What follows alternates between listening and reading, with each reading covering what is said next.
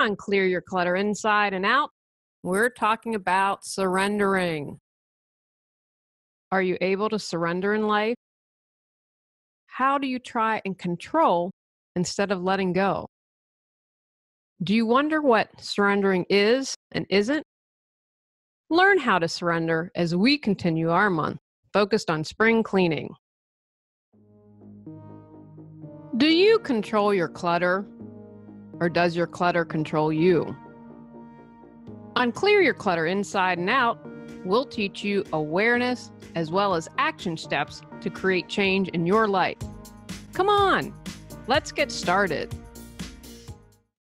Today's episode was inspired by my own challenge to surrender.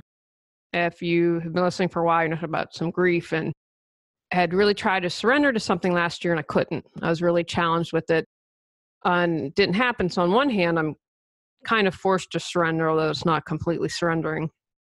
However, I have been in the past sometimes successful in being able to surrender. I don't think it's an easy thing. I know a lot of people find it challenging. And if you're someone who does, hopefully today will help you out. But it's inspired by my own struggle with this. It's something I hope to improve on. And I've, it's just a really interesting process for me right now in my life. And I thought it's springtime. What a really great time. We have hope, we have renewal. I, for the first time as I record this, have feel hopeful in a long time, in several months. So that's kind of exciting. And so, kind of surrendering that hope. And the first thing I want to talk about was what surrender is not. And I got this from psych- Psychology Today when it's time to let go and control and surrender. And it was a a blog. And I thought this was so brilliant. Instead of trying to reinvent the wheel, I thought how this author just, I couldn't have sent it as eloquently. And I thought this is a really important point because this is something that I've had to learn about and grow. So, what surrender isn't? And I think when you break it down like this, that it really helps you more because you're like, okay. And I love what she said. Surrender is not failure or defeat. Think about if we get caught up in that. Like, uh, if I, I've lost if I surrender. I know that I used to feel that way. Punishment. Surrendering is not punishment. I don't know if I've ever viewed surrendering as punishment. Have you? It's not a decision to let go. I thought that was really interesting because that's probably how I would have defined surrendering. It is definitely not, and sadly, I know this all too well, a task that we can accomplish with our mind. You can't sit there and say, I will myself to surrender, I will myself to surrender, and concentrate really hard. Doesn't happen that way. Because if it did, we'd all be able to do it, right? It'd be pretty easy. It is also not a state that we can will ourselves into. When someone said to me, You have to surrender, I was like, but I don't know how. I couldn't. It's something we're going to talk about later, but it, it's not something that you can snap your fingers, wake up, and say, I surrender. It's not something by meditating for hours that you can do, although meditating might support your surrendering. It's just you can't make it happen. I'm hoping that this is making sense. I also love this. It's not an ending. It's not a bad thing right? I think we see this sometimes surrendering as being a bad thing because it's like we think we're giving up or we're not trying.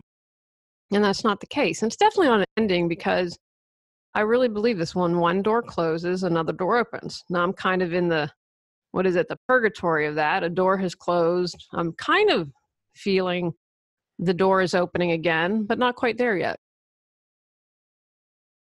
And the final thing, or one of the things she said, the final one I'm sharing is the decision to be comfortable with what is. I don't like what how things are. Some of the things are in my life. I wasn't comfortable with how things something happened.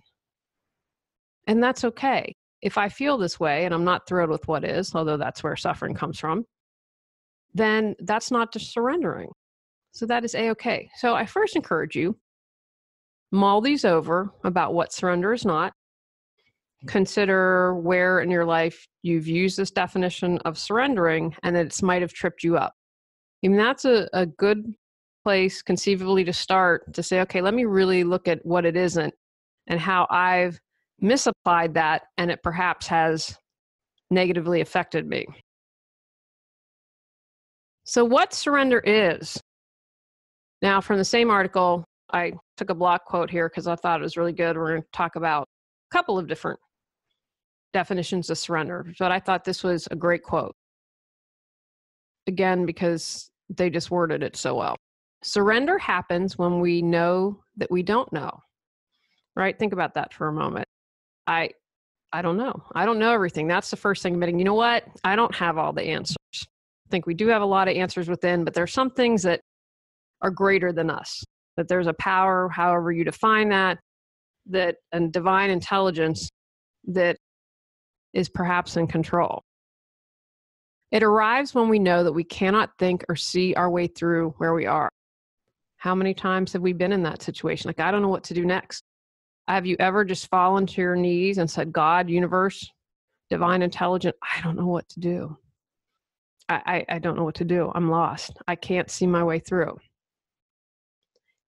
In true surrender, we don't know if what's to come will be better or worse, more comfortable or more awful, right? That's one of the reasons we're holding on to control because if I control it, then I can make sure it's the decision and the outcome that I want, and then it's going to be good. We surrender, we don't know what we're going to get.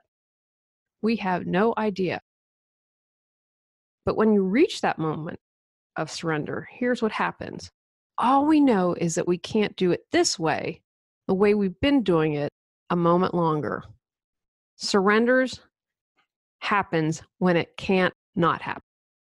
I'll say that again. That's kind of a little bit of a mouthful. Surrender happens when it can't not happen kind of like I would equate this to being at the end of your rope. I've done everything I can. I have to let it go. I have to surrender. I did everything I could to accomplish a dream. It didn't happen. I gave it my all. And it didn't turn out. It turned out bad. In my view, it turned out bad. I don't know if I would use that word. I'd say heartbreaking. And, but I did everything I could. And I just have to trust there is a reason it didn't work out and move forward.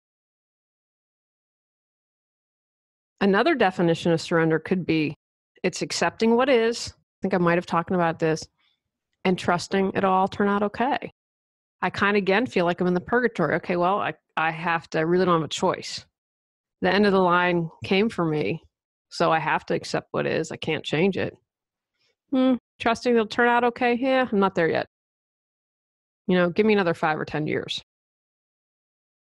Surrender is complete acceptance of what is and having the faith that all is well, even when I'm not in control. It's another way to think about it. Again, in that purgatory space for me, I think it's when, you know, guys, when I do these podcasts, I do them for you. It is my gift. I love doing this, and it's for me as well. I have to do these podcasts usually I'm usually two months out. So, for instance, this is February and I'm shooting April's just because there's so many things you got to get uploaded, yada, yada, yada. That that just is the nature of things. And I kind of sketch out for the year with flexibility what I'm going to do, kind of what I feel inspired to do, and then take it at the beginning of the recording month, what I'll actually do. And, you know, I'd done that thing grief, like probably a couple months before grief really hit. And I was like, oh, how valuable is this? I get to listen to myself give myself advice and hopefully pay attention to it. So if you're tuning in and watching and listening, I hope you benefit, but it benefits me as well. The thing about surrender, it's going to happen in its own timetable. We can't force it. As much as our ego is probably going to try, and and that's the hard thing. I know when I was really trying really really hard, oh, I've got to surrender. No, it doesn't work that way, and it stinks, quite frankly. But once you do, here's what's great you find peace. When you say you don't know what, how to do it, don't know what the next step is, you get a break from suffering. If you listen to why I love my husband, best thing that ever happened to me. Prior to my husband, I was on and off with someone for a really long time. I love this man. Wasn't the right guy for me. There is, I have nothing but wonderful things and thoughts about him. But I'll never forget when I knew it was over. Because, see, I was afraid. I think it was fear on both sides. Afraid to let go because what if there's no one else there out for me? That was my biggest fear. I'm never going to find anyone. I'm going to be alone. That was personally one of my fears. And when I knew it was truly over, I was literally down on my knees sobbing. I, I really equate it to crying like an animal, just these guttural sounds, just this grief. Yeah, 15, 20 minutes. And then it was over. It didn't mean I still didn't have heartache, but I had finally achieved peace. Because I had to surrender that it wasn't going to happen. I had to surrender to the possibility that I might never find someone. And it doesn't again mean that things were easy all the time and have heartbreak, but it did mm. pave the way to open me up because energetically, what I believe was happening, I'm stuck on this guy, I'm stuck on this guy, so I'm not available for another man. You know, everything's energy and even if we're not aware of it or those unconscious thoughts we people pick up on it. And again i think for the most part there's not a ton of awareness in this but it was like having a sign on my head that said unavailable so when i surrendered the available sign happen. so when you're surrendering it's giving up's not the right term and it might feel like it's giving up to you so i'd probably add that's another definition of not what of what it isn't giving up we what we're letting go of what we're releasing is that our ability to control or manage the situation and believing that we're in charge or believing like for me that i can make the outcome different than what i desire. You reach that point where you know that more effort isn't going to make a difference. It is what it is. You can't change it. And, you know, I think one of the challenges is a lot of times as human, we're conditioned to never give up. And that what Winston Churchill said, I think I quoted that in another episode never, ever, ever give up. Because that's kind of how we're built. But that's a mistaken belief. And when you do surrender, like I mentioned a moment ago, it was, I found peace for the situation. And I felt relief. It can be done. Again, again, doesn't mean it's easy, but you can surrender. The other thing that's going on when you surrender is you're letting go of expectations, right? I did an episode on that on the podcast, Great Expectations. You know that you gave it your all, you did what you could. But once you do that, that allows you to become more present. And instead of focusing on controlling the outcome, and how you think it should be, then life kind of opens up. It's like that the example, the straw. I'm trying to control it, control it. And what I'm doing is I'm pinching the flow of life. I'm not allowing a source bigger than me, the universe, divine intelligent, God, I'm not allowing that awesomeness to come into life. Overwhelmed by clutter, feel stuck, would you like to feel energized and excited? Are you not sure what direction to go? Julie Coraccio offers lifestyle coaching to people from all walks of life who know something needs to change, but they aren't sure where to start.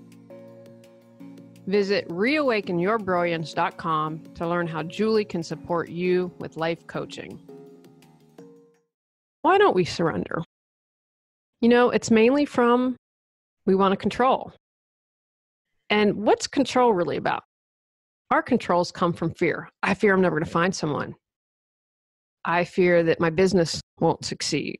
I fear that I will never get a degree. I fear that this relationship won't work out. Whatever it is. So examine what you're trying to control in your life and take it down. What's the fear behind what you're controlling? Because the fear and the control is what prevents you from surrendering. We sometimes don't surrender because we have a specific outcome in mind.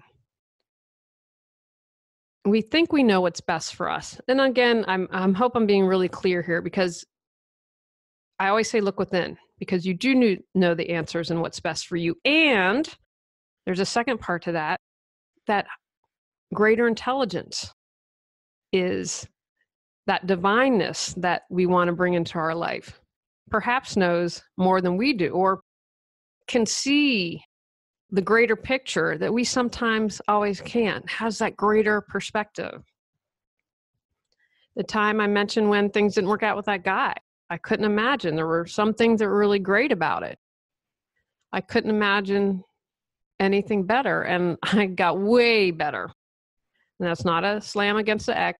It's just my husband is the right guy for me, no doubt. I have he just things that were really important to me. And I'm grateful to that man because had I not learned things from him, I don't know if I would have been open to my husband. So when we have that hindsight of 2020, you know, again, hindsight, that's the whole term.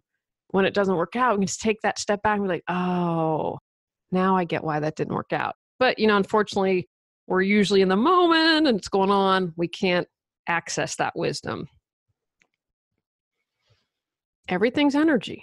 So if you're in that fight mode all the time, and that energy, that's kind of uh, got momentum behind it about not wanting to surrender. Oh, I'm going to fight it. I'm going to fight it. I'm going to win. And that's kind of your frame of mind. That can prevent you from surrendering.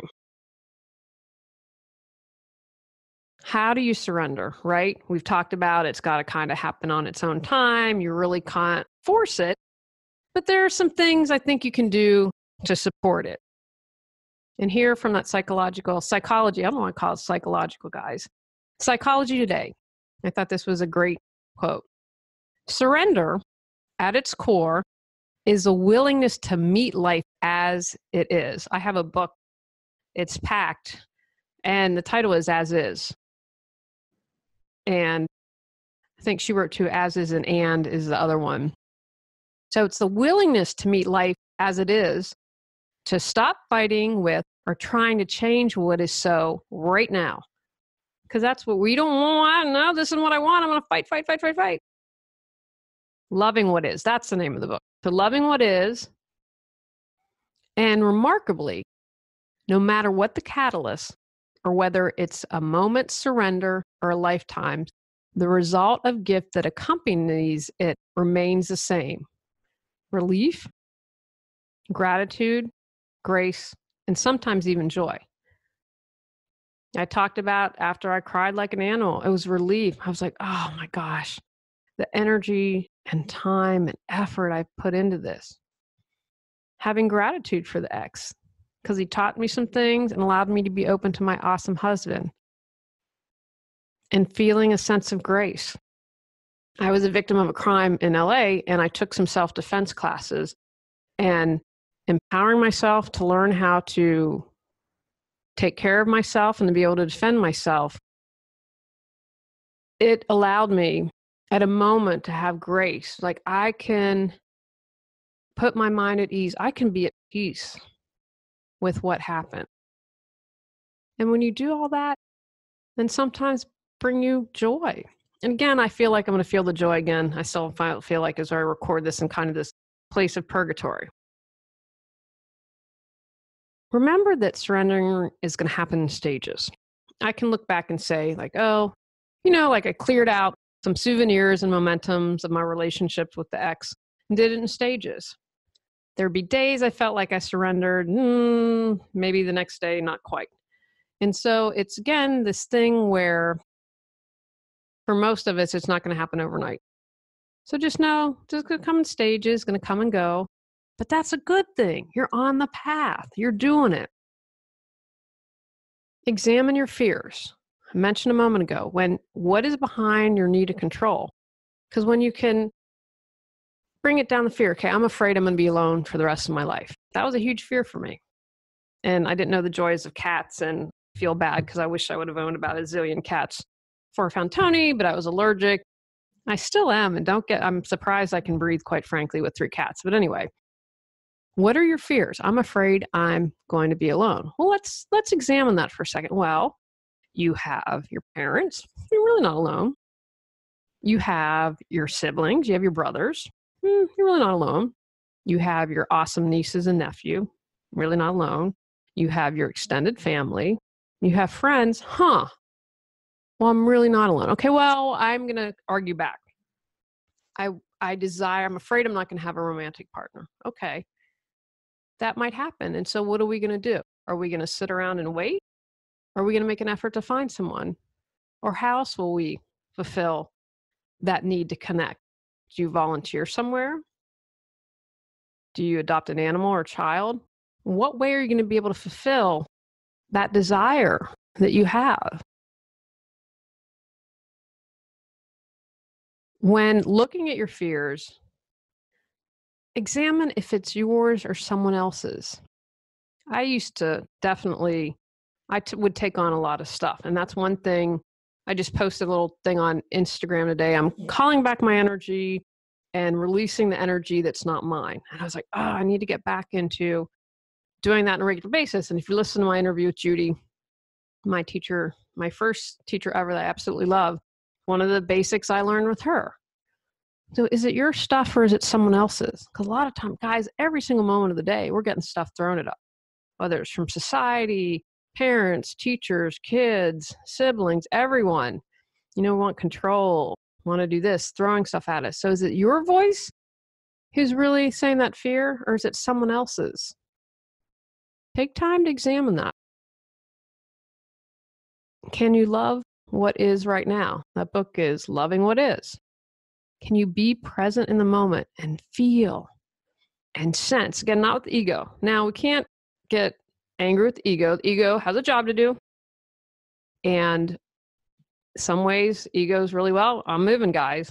I would lose my mind if I wasn't organized. And I halfway feel like I'm losing my mind because there's so many balls up in the air right now. So thank you, ego. You were organized, you helped me. But on some other places and in some other places, not so much. So become present as much as possible. How does it feel? In the moment, you know what? I can love what is right now. So practice that as you're able to. Releasing, trying to control everything. Deep breathing. Letting go of those expectations of results and outcome. You know, the more you breathe into it, the more you release it, the easier it becomes. That's surrendering. Okay, you know what? I'm afraid right now. I feel alone. Okay, well, who can I call? What can I do? What action can I take? Okay, let me just feel this. Oh, I feel alone. I feel it in my stomach. My stomach's, oh, I feel afraid. Okay, what can I do? Breathe into my stomach. Close my eyes. What can I do right now to alleviate that? And maybe you get relief for a couple minutes, but that's surrendering. You're doing it spend time on what it's like right now is is, is it okay right now hmm, yeah you know what i am alone but you know it doesn't feel so bad hmm okay this is how it is right now okay you know what i can surrender to it in this moment i might feel differently tomorrow but in this present moment i can do it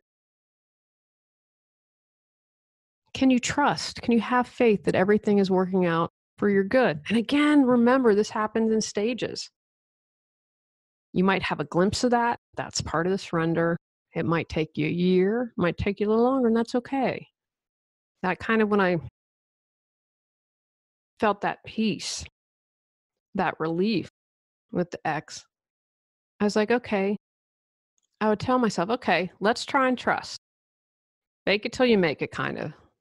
Let's trust that you're going to meet some groovy man and then it's going to work out as it should. So, how does trust and faith look to you? how can you bring more of that into your life? What can you do? Can you review your life when it's worked out really well and you just trusted and you surrendered and it worked out? Can you look at something and say, ah, you know what, in hindsight, that was the best thing that happened to me? Take some time to review and look through your life where faith, trust, you said, okay, I'm just going to trust it and it worked out. Take the time to acknowledge that, have gratitude for all that. Again, you know, gratitude and love, I believe, are the highest vibration. So when you're examining this, what's a good that can happen? Even in a situation, finding that golden nugget, finding that gratitude, whereas, you know what, this isn't really how I'd hoped it happened, and it wasn't the outcome I really desired. But what was good about this? What was good about this? oh, it allowed me time to write my book. I wasn't focusing my energy on a relationship anymore. What is the positive that you can find? And you know what? Even if it's remember itty bitty, you you grow upon that. That little seed grows and sprouts. So the more you water it, the more you tend to it. And again, it's remember it's that process. It's not you're not just going to snap your fingers and have it happen. when stuff's going on and it's not turning out as you desire, can you change your perspective? See that what you don't want may be part of the solution. I had a friend that for years hated her job. And I wouldn't say hate, that's not a fair assessment. She was in a situation where they kept downsizing and laying off people. And, you know, that's a really hard situation. I could be laid off tomorrow and living, but she was living in that constant fear for years. And then it finally happened. She got laid off. And you know what? Relief was the first thing that happened. She traveled. She, at that point, was able to surrender. Well, I have no control of this. Not only, and first of all, she had a couple months off and was able to collect unemployment, was able to travel, and came back and found an even better job. So, part of the solution to all this was getting laid off. So, see if you can look in your life where something that maybe you're saying mm, and resisting might actually be what you need. And then, you know, part of it is just simply trying to find happiness and joy when you don't get what you want. Still work in progress on this, guys. And again, it, it's I'm in a good space now where I feel like I finally have hope that I haven't had for a long time. And I was thinking this morning, I have to laugh. I didn't tell Tony this. He'd probably be like, oh my gosh, I had a dream that Tony brought home a kitten. And I was so excited. I think especially we have an elderly cat, Joey's gonna be 15 and and uh, having a brother and sister has been good for him, but I think no more cat out of respect for Joey because he's elderly and it's we're about to move, a lot of change. Anyway, I had this great dream that Tony brought home a cat, and I kind of have to chuckle because he'd probably, what are you dreaming about that? But I've noticed that. So I was thinking this morning, woke up, had this dream, and I love there are certain things that I just find complete joy and happiness. I was thinking this morning, had Titi on the bed, Joe was here, Antonio's weird. He won't sleep on the bed. And uh, I don't know, I want to upgrade to a king size bed. There's not a lot, we're downsizing, but we just need, because I have no room on the bed. Okay, let's just be honest. But I was thinking this morning that I love these times. I love just being with the family in bed or at nighttime when Tony hasn't come home yet and he works a swing shift, so he comes he's home about eleven thirty and and I've got all the cats hanging out with me. Joey and Titi on the bed, Antonio will jump up sometime, but those little moments give me joy and the happiness. So I build upon that. Oh, it's those little things. So find out out how to be happy when the outcomes aren't what you desire.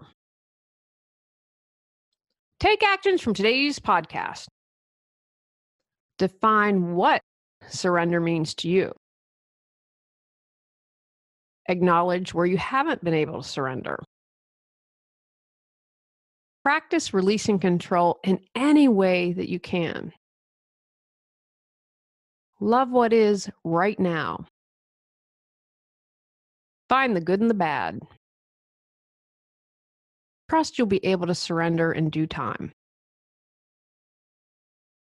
On next month's episode, we're talking about reconnecting with the kid in you in our one minute wisdom. Go out, clear your clutter to create the life you choose, deserve, and desire. When you clear your clutter, you can share your gifts with the world.